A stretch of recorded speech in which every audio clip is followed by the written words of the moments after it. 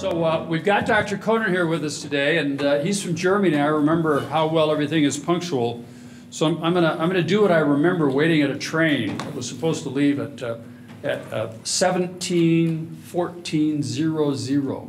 And the conductor was sitting there looking at his clock with his hand up like this. True story, Thomas. And he goes around and he says, "Okay, it is now 7:15." Formal introduction now starts. so it's a pleasure to have Thomas. He's been a very long-term friend and uh, a most unusual individual because he's clearly had his feet both in Europe as well as in the United States. So uh, Thomas has MD PhD in regards to everything you need in regards to Germany, but rather than be settled with that after doing his residency, he decided that he wanted an experience in the United States and so uh, he went to Baylor and worked with uh, Doug Koch in some of the most productive two years that I've ever seen out of that group. And he just came on like a storm, involved in uh, many, many studies and other things, and uh, had an incredible experience. Uh, and so with that, uh, he went back into academic ophthalmology in Germany. And a lot of you don't know the German system, but there are very, very few department chair positions that are open. And uh, it's just a handful of people that are allowed to get that opportunity to move on to be a chair. Now, it's not all of them are the same. Uh, there are many of them that are in the old previous East Germany. And in the previous East Germany, the feeling is, is that uh, uh the opportunities aren't nearly as much, as not nearly as important.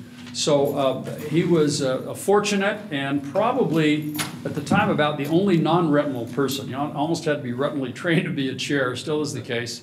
Uh, and uh, he was selected as the chair at Frankfurt. Has been working to build that program. Clearly, one of the main program because Frankfurt is the financial center of Germany. And with Brexit, it could easily be the, uh, the uh, financial center of all of Europe of what's ongoing. And uh, he's also very, very innovative, very research oriented, all that he's done. He's associate editor of the, of the Journal of Academy Refractive Surgery, does an amazing job there. Uh, recently, previous president of the German Ophthalmology Society. He's now president of IIIC, which brought him here. They had a meeting in Aspen here just last week, so he was here for that. Um, a senior person in ESCRS. So there's not an area that you can't see he's had an important presence. Now, the reason why the work he does in Europe is so important is Europe has got a different system, and they're able to see lenses, and they're able to see new technology, and they're able to work with it in ways that we can't do, and we don't have access to this. And he has clearly been an international leader in helping understand and do research on all this new technology. And so it's an honor to have uh, my good friend, uh, Professor Kohnen, here with that. And I now I introduce and we'll get started. Thomas, the floor is yours. Thank you.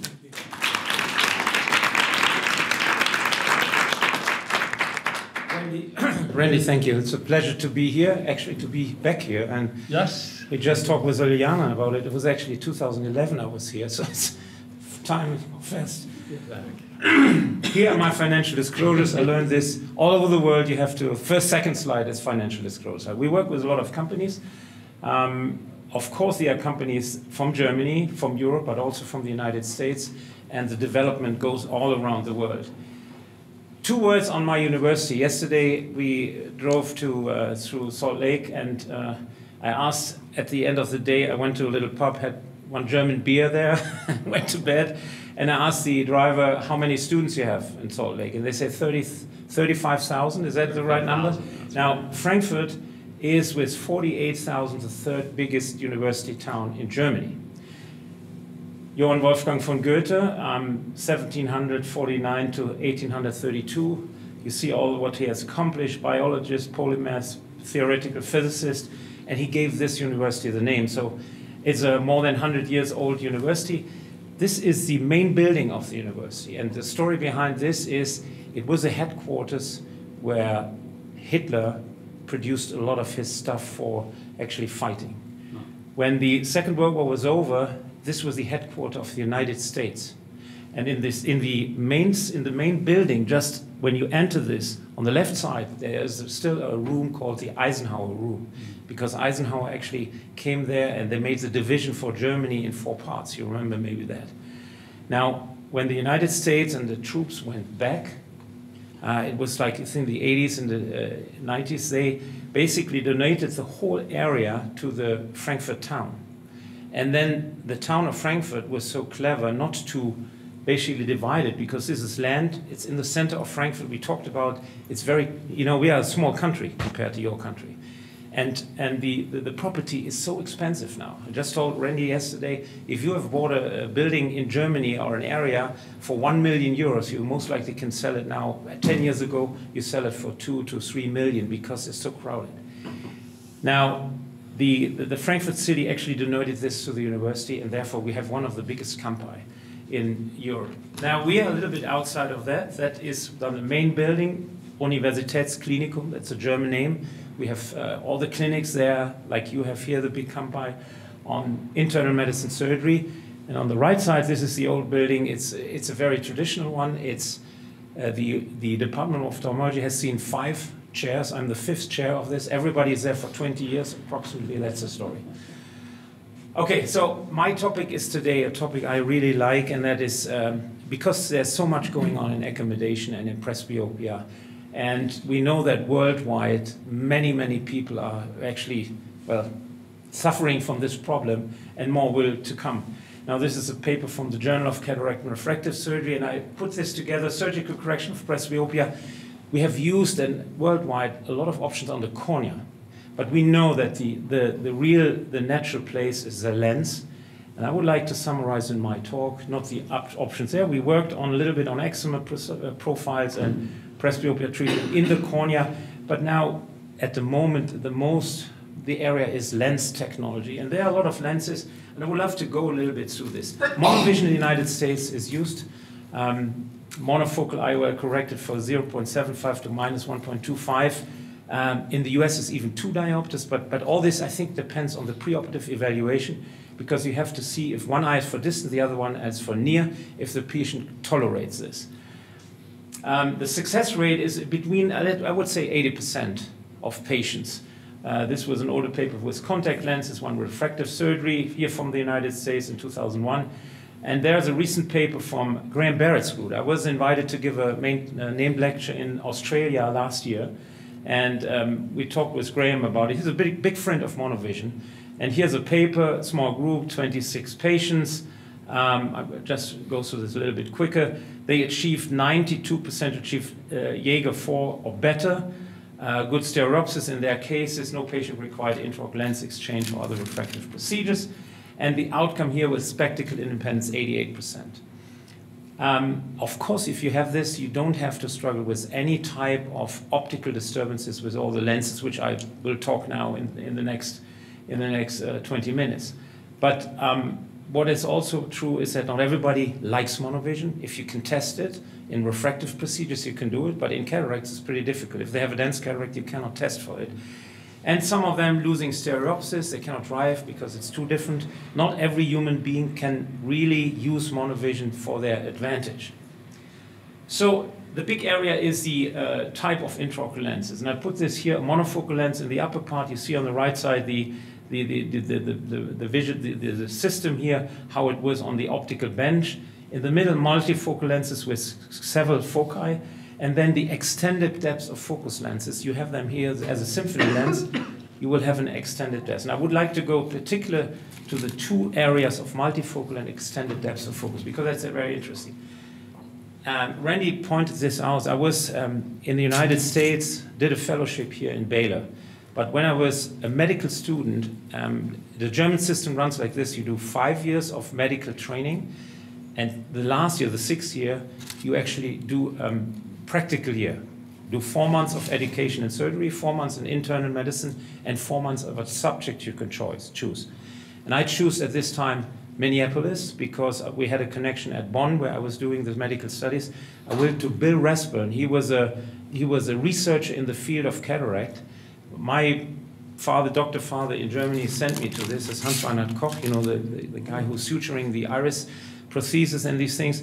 I was there for two weeks and then I decided, well, I cannot see four months in the lab just doing my practical year. So I went to the department, I went to the grand rounds, and the, the, the boss of this uh, department, this one was Dick Lindstrom.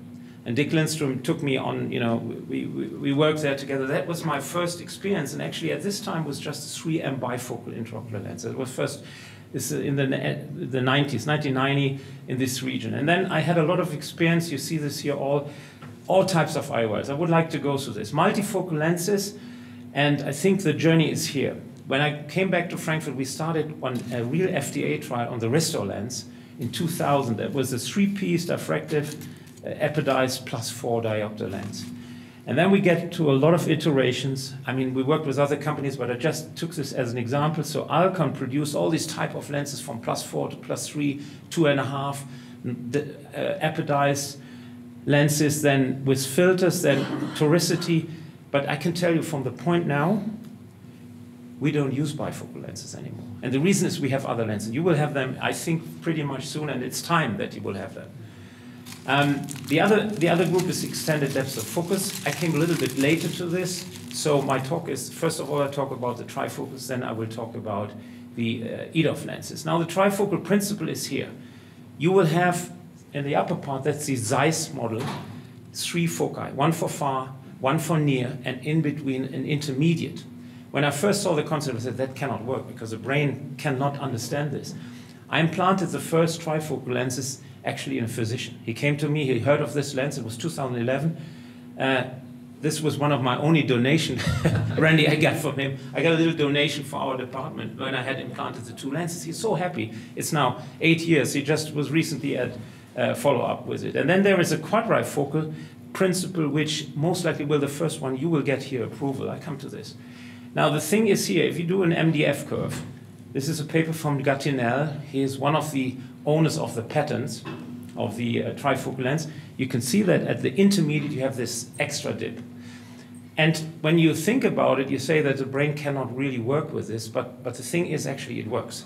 And there are two things which I will point out. Is first of all, if you do a defocus curve, you can see that the normal defocus curve, which goes like this, every human being has for distance and near, and in between he can focus, accommodate.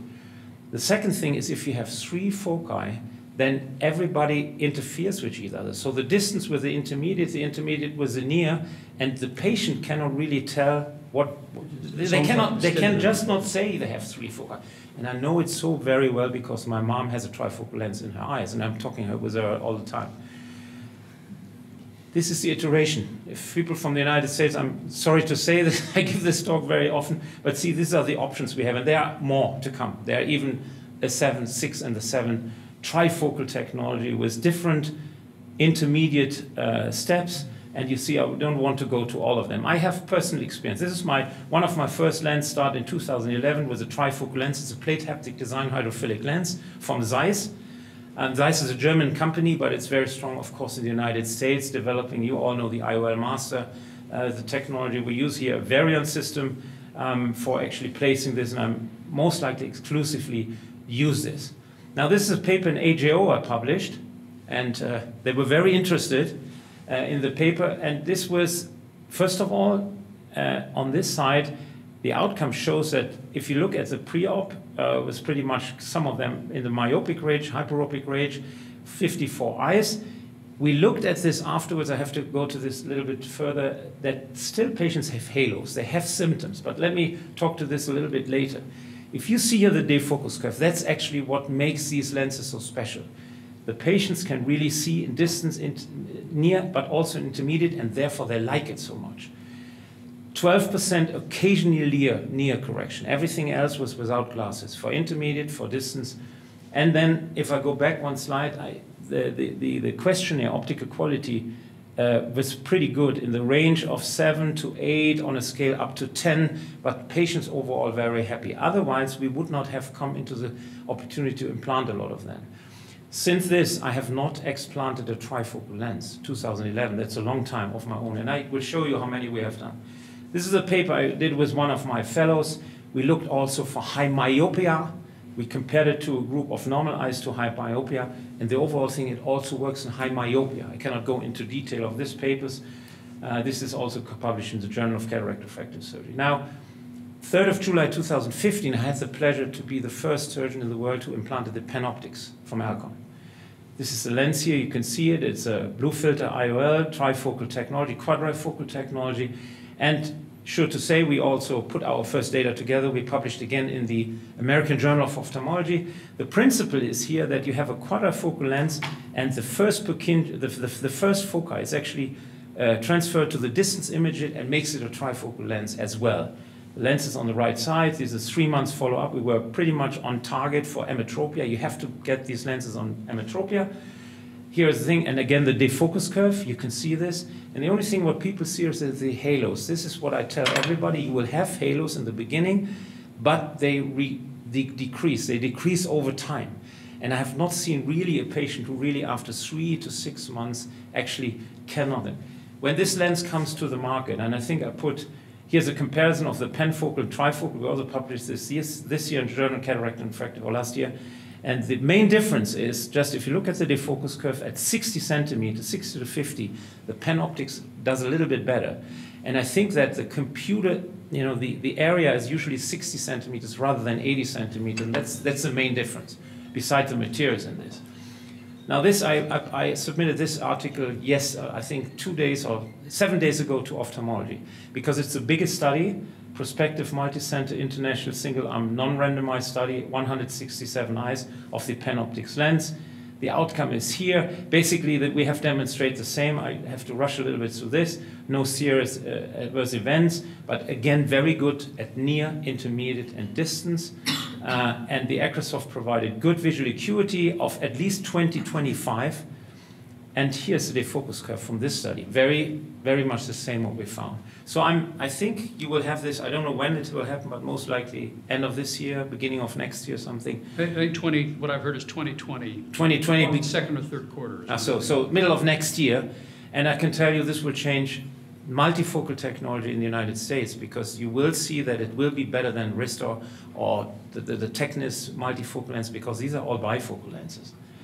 I come at the, at the end a little bit about what, what, what a little bit my pearls are. Rayner has uh, produced here something now. Everybody fights a little bit. How should the optical zone size be? We just were at the, the Aspen meeting, Triple IC. There's a new company from East uh, Europe. They do a even smaller optical zone. So we have to figure this out, what is really the best technology. You see, here's a new trifocal uh, with different step additions, intermediate 1.5, 1.75, 1.66, 2.1. So they're playing around with these intermediate foci. And this is just basically showing that the the, uh, also one point of the trifocal lens is it uses the light better than the bifocal lenses. Here is this 92 effective light transmission. That's better than in the bifocal, which is like 84, 85%. Okay, and then even a little bit further, which you will have not so, so quickly, but I show you this. It's this add-on technology. It's very interesting because here's a pseudophakic patient and he came to our department to me and asked for, for uh, presbyopia correcting IOLs, or basically for spectacle independence. And what we have to our availability is now an add-on technology. It's a second IOL. You put the trifocal lens on top of a monofocal lens and can make every monofocal system trifocal. And I do this here, and you can see the trifocality as a add-on lens. It has no power, basically a trifocal lens, you can even take a plus one or minus one or a little bit of astigmatism, so you can correct any refractive error, residual refractive error, and put this lens in. Also, this has to be worked out, but the principle I think is very interesting. Is that in the sulcus? It's a sulcus lens. You put that's it in. Rayner, that's the Rayner. It's a Rayner lens. It's a sulcus lens. But there's a first Q. We have two other, uh, already three other companies who provide this add-on technology. This is one of the Rayner lens published uh, uh, in uh, this year, source from Amon. So also it's starting to be not, not much publications at the moment. So my pearls for trifocal lenses is basically I use them when I have really healthy eye. So no pathology on the cornea because if you have, I think that's true for any multifocal lens.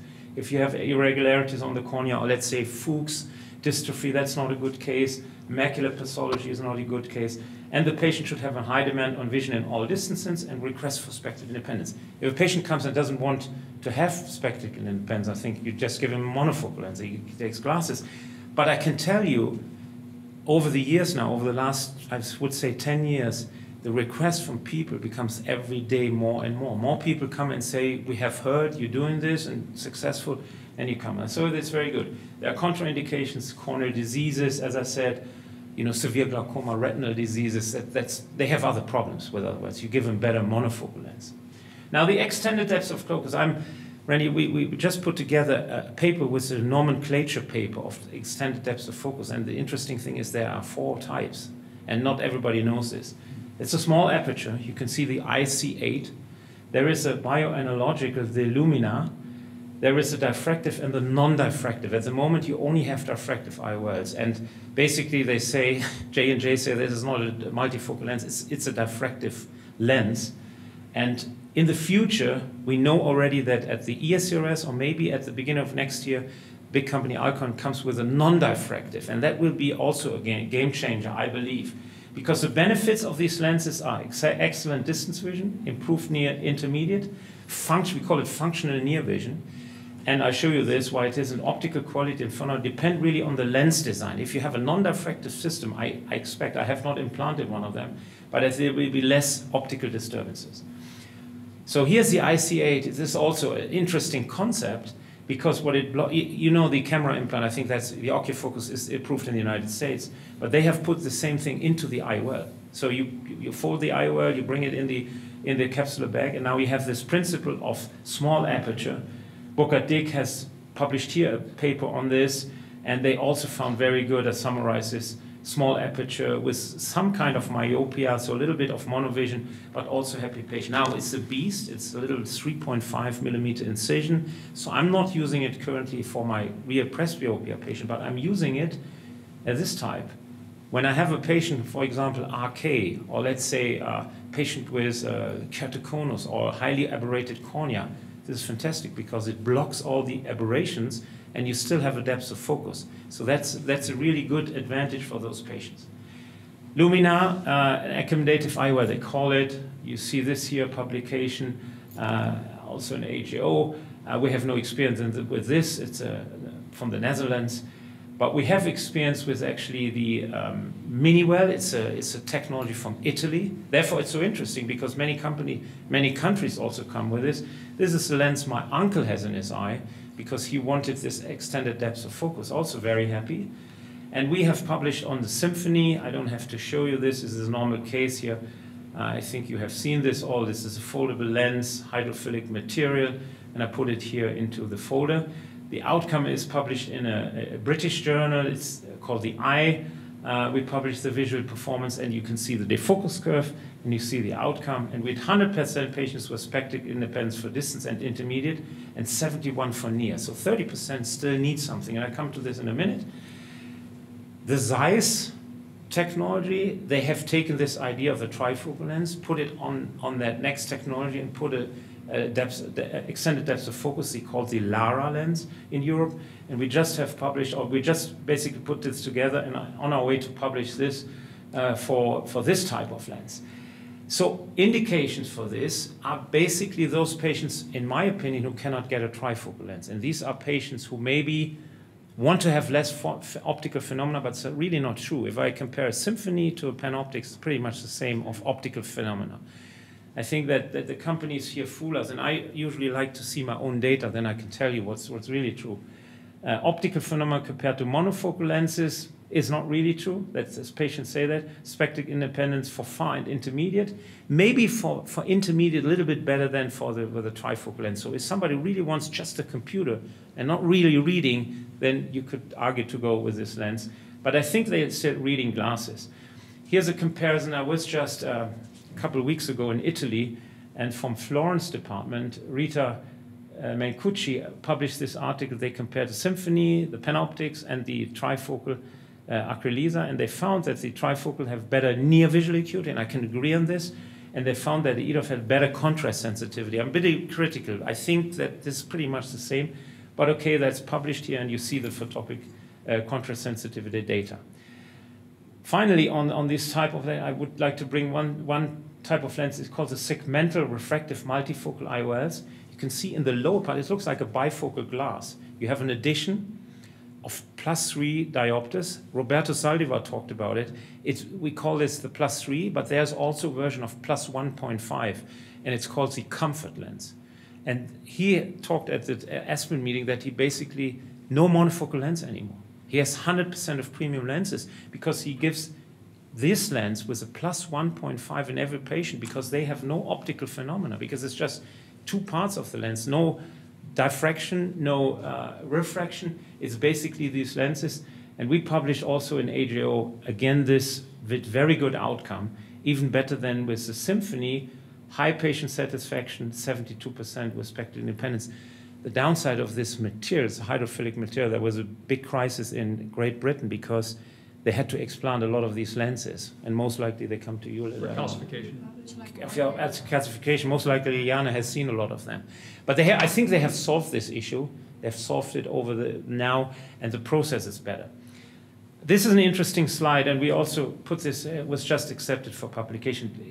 Again, always this defocus curve.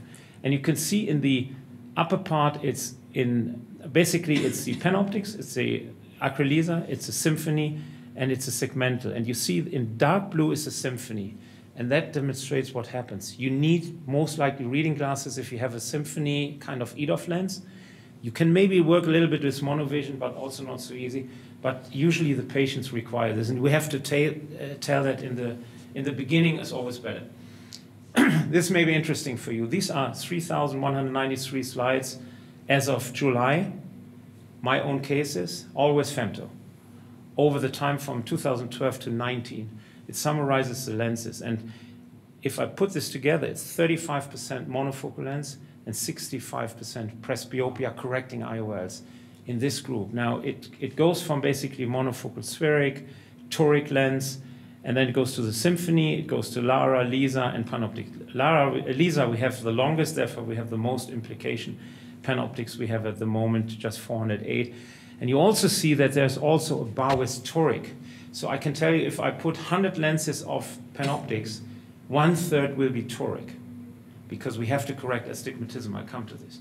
Now, it's very difficult to choose these lenses from all this. Not every patient fits everybody, so we do quite a selection and big of talking with all the patients. Maybe we can do this in the discussion.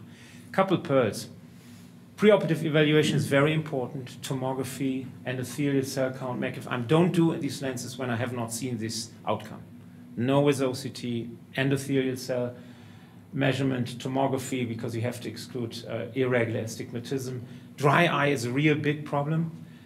Then the postoperative refraction has to be emmetropic. If you don't, if you cannot achieve emmetropia, then you have to do refractive surgery. And many surgeons in Germany basically do cataracts, and we talked about it, and intravitreal injection. That's all they do. And they have no access to excimer surgery. And then the patients are unhappy because if a patient is minus one or plus one, you have to do something later, after three months, six months. Centration is important. Therefore, I think that we're going in the direction of more computerized surgery. We don't want this tilt of lenses because of smaller capsule, larger capsulorhexis. So the computerized medicine, I think, will help us. And very important is information. I always tell, in comparison to the bifocal, you have intermediates, very good, but you still will have optical phenomena. If you don't have this, then most likely I haven't implanted that lens in your eye. And they will decrease over time. And we don't explant these lenses and we let the brain work into it. But you have to good, a, a good uh, selection criteria. Couple other pearls. Um, Optimization of the surface is important. So any patient's dry eye, we have to do this. I put this together. There's a big scheme here, it's published also um, in Journal Cataract Refractive 2017, preoperative optimization of the ocular surface disease before cataract surgery. The second thing is, and I'm sure you do all this, you, you have to work on the IOL formula we have basically abandoned SRKT, all the old formulas. I mean, that's the third generation. There's a very interesting series, if you're interested, in the Journal Cataract Refractive Surgery, four editorials on this topic last year. Doug Koch was one of these, uh, Adi Abulafia, Graham Barrett, I think. And we looked at the Panoptix data. We published this also, nine modern formulas, and we found that the Barrett Universal, the Hill, RBF, the Olsen, from Denmark and the two T2 formula are the best for us to get emmetropia as well. So we're working with the new formulas.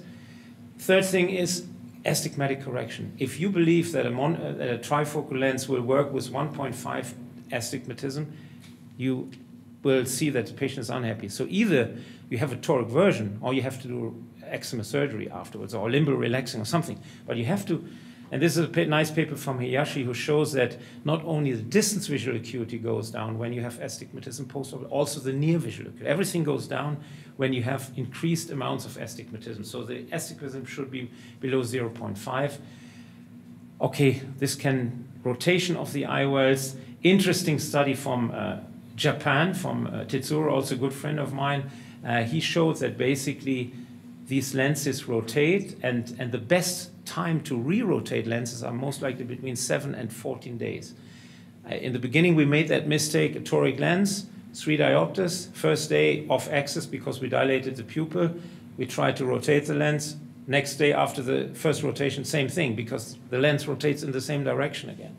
That's not very good. And so we do this re-rotation seven days. And the little trick, what I do now is since, since maybe a year, after surgery, when I have toric lenses, I let these patients really lie down for an hour. They don't have to move. We close the pupil with myotics so that the lens really gets into place and let them, in comparison to all the monofocal lenses, the activities should be down in the first two, three days. Because if they do too much of movement, we also know that this trick with the lying down, the, the highest rotation uh, occurs in the first hour after surgery. It's not the next day, it's the first hour after surgery. And then I talked about this effect of manual capsulorhexis. You want good centration. And I want to skip this. Only eyes with a severely malformed capsulorhexis had a highly or slightly deformed uh, descended IOL. And if you have these systems, the, the trifocal systems uh, decentered, it's not good because they do not perform very well. Now, finally, this is not European style. It's, I think it comes from the US. But a little bit on this. This is the holy grail. We want to look at the accommodative IOLs in the future. I think that's, that's the way where we all want to go in the next, and, and many companies have worked on this. I go to this. This is the one CU from um, company in Germany, accommodative. It's a big hype. 15 years ago, 2003, they published this.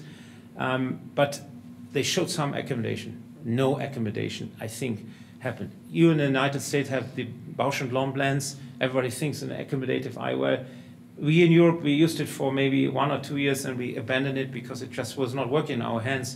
And I always have this discussion. I have Europeans call it the lens that only works in the United States. Nah, something like it, you know. But, but, you know, there's the accommodation here and this has not really worked.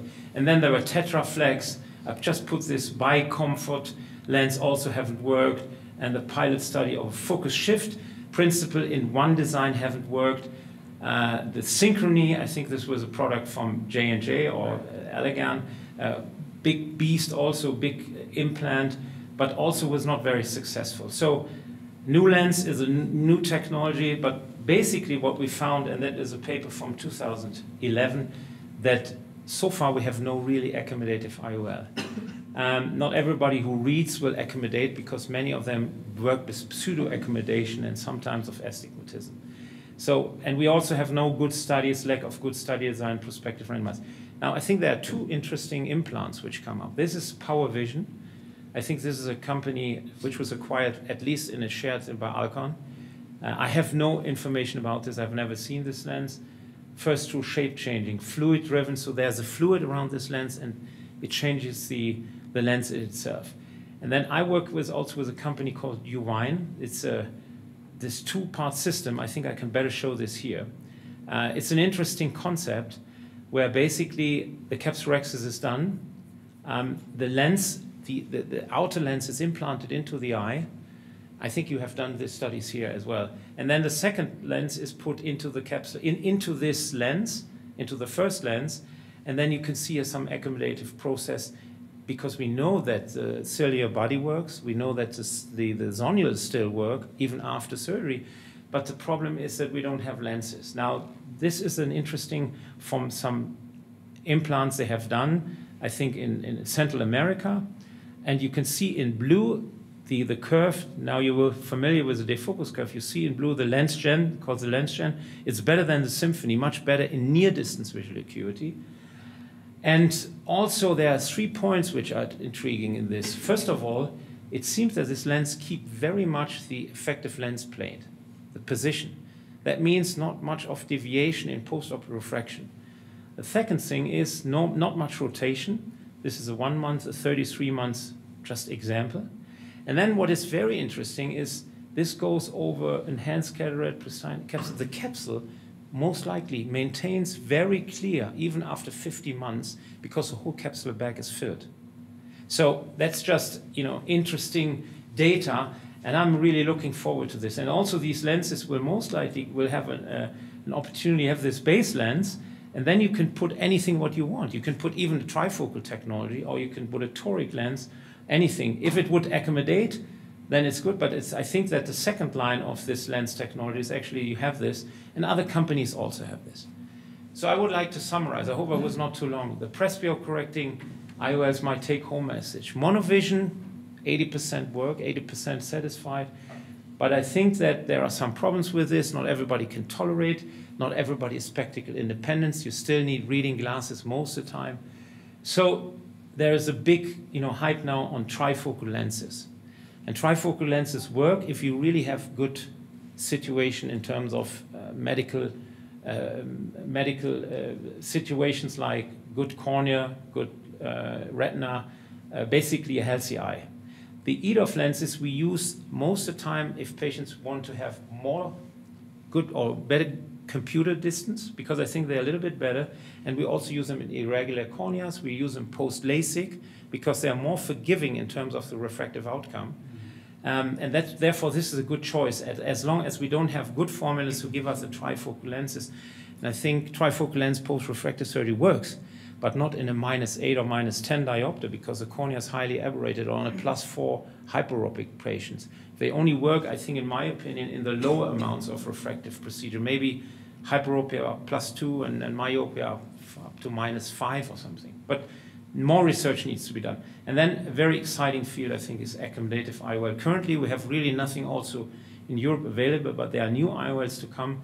And of course, human beings and researchers work there for a long time. We don't know where it will end up, but this is the holy grail because these lenses will have no optical system, no optical phenomena, and would most likely be the lenses of choice if they would work.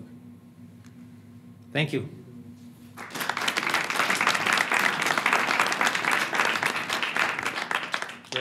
So great lecture, and uh, it's amazing that you can have that experience. Uh, obviously, our big problem is a lot of those smaller companies in Europe will never come to the United States because they're unwilling to spend the amount of money it takes, the difficulty of getting through FDA, which is a whole other story. Yeah. So here's a tough one. I'm going to ask you a really tough question.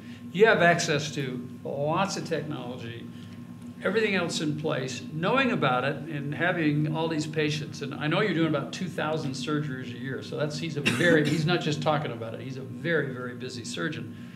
Which of the new technology lenses, if you needed cataract surgery, would you put in your own eye today? Well, this is a question I would uh, very, get very often. I know, Randy, that my cataract surgery comes up in between. I would say approximately 20 years. And the reason is my both parents have the same they have cataract surgery when we're 75 both. Right.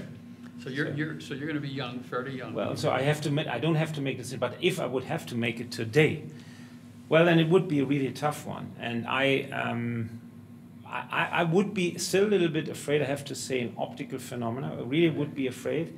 I hear that the, the patients who really want to be spectacle independent, the, the type of patients which really love this is, I, I would say, very active people. They go for golfing. They, they, they, they still work on the computer. They read a little bit. They do everything. This is perfect lens, a trifocal lens, I would say.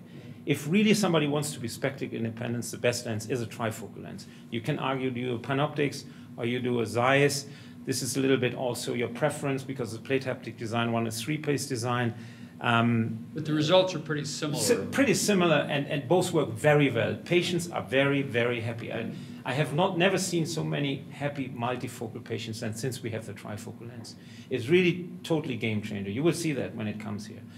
The EDOF lenses at the moment, I personally I would only most likely go with this when we have the non-diffractive ones. So I wait for next year because Alcon comes with a new platform like this. Mini WELL is a good other op- opportunity, and then for the highly aberrated eyes, I think that the IC-8 is a very good opportunity, you know, because it blocks this light. So it would be three categories, and most likely I would go for the first one because my eye is highly visual functional. I have 1.6 visual acuity, 20, 15 even now, so bit difficult for me. But I know one of our colleagues from Italy, Right. uh, Matteo Piovella, Ah, sure. had a trifocal lens, does work on the surgery, microscope every day. He loves it. He was just at the meeting, and I can remember when he had the lens, it was also eight years ago, perfectly doing surgery with it. So it's not a contraindication. Hiroko from, from Japan tells me she's expanded IOLs in multifocal area as well in Japan, and she has a lot of you know physicians, dentists, uh, engineers, and, and it works also with them. So the, the big fear I think is over now.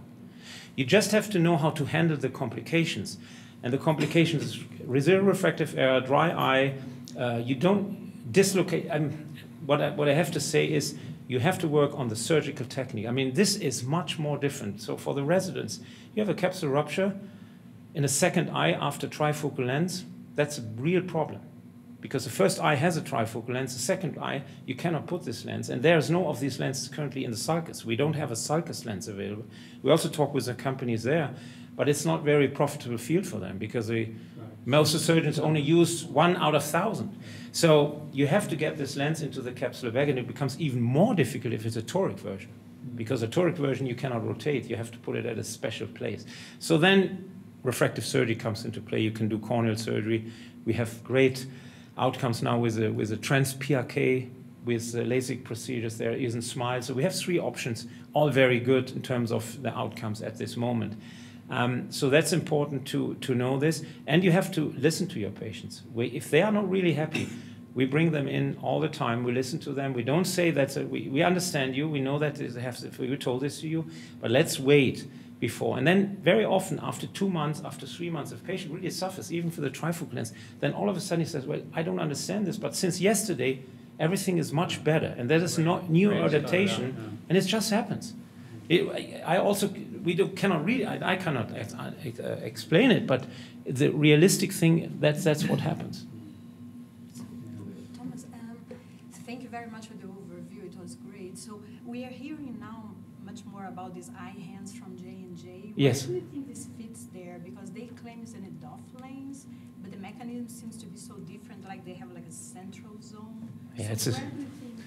It's a prolate, a little bit prolate surface. They have changed the surface technology, and they give you a little of depth of focus induction, but it's more, uh, it's a monofocal lens with a little bit more intermediate. It's not really as EDOF lens, but it enhances a little bit, not seeing at one, but you can see a little bit further. So it, it comes again taking from the monofocal lenses away, but it's definitely has a change of the. We, we looked at these lenses in the lab, and if you see this lens, a monofocal lens, same type, the Tecnis versus the Eyhance, you can see that they have little bump on it. So it's an optical process on the on the on the center of the of the anterior surface. So It just started in Europe as well. You know, it's maybe half a year that we have it, and people. The, the question is: Is it a premium IOL? We, we everything what is in this area. We have we have the same situation like in the United States. We can upcharge, so patients get the basic. Um, basic thing from the company, from the from the insurance company, cataract surgery and and monofocal lens, spheric monofocal lens, not even aspheric. Everything else is an upcharge. Aspheric are not much, but a little bit.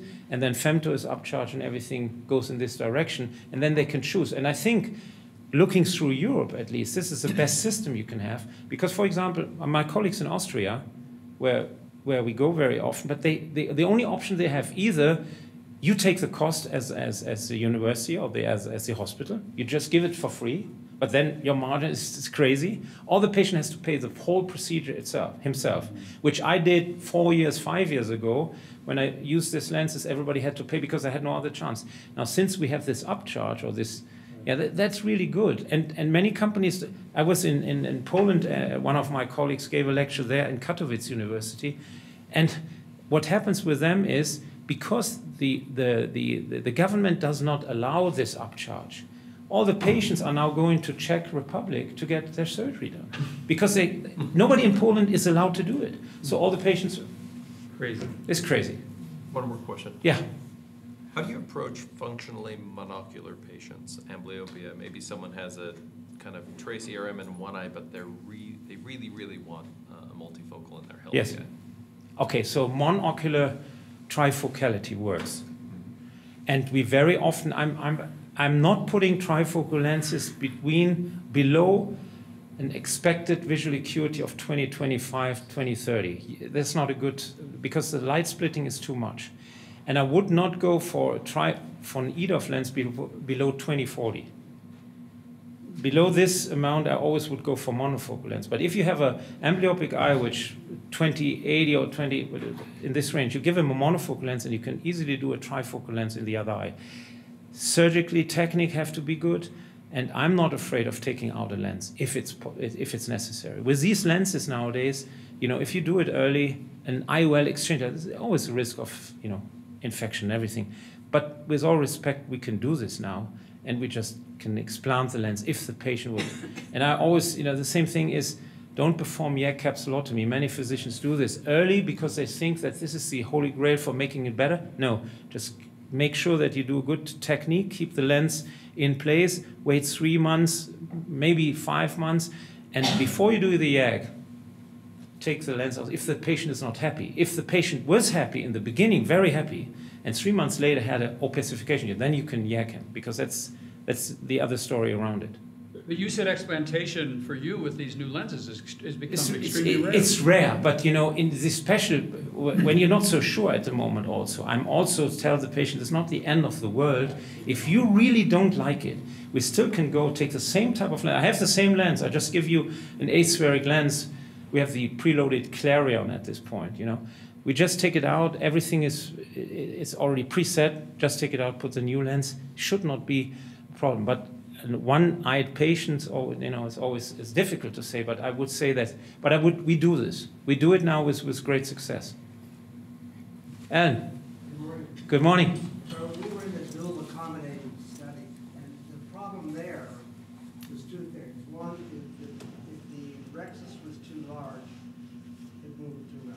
Yeah. rhexis was too small, you couldn't get it in. And More importantly, you had to make a four and a half millimeter incision, so we always screwed up the cornea in, in those. It, it was not a very effective lens, that dual accommodating lens.